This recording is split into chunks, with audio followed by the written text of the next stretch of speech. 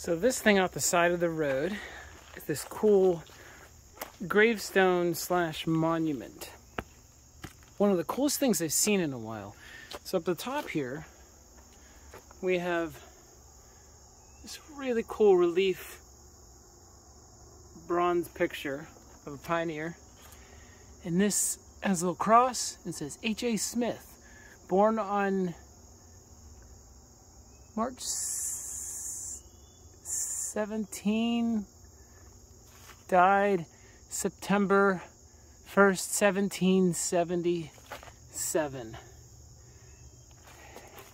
At the bottom is this explanation. It says, Here in the year 1922, this stone was uncovered while grading for the course of the Lakes to Sea Highway.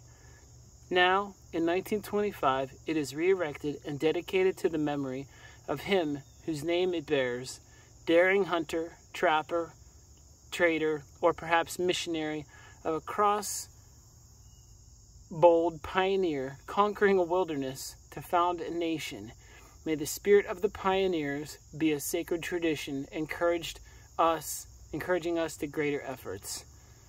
And it says sworn depositions book, deed book, 401, page 110, Franklin, PA. I just think this is one of the coolest things and inspiring lately.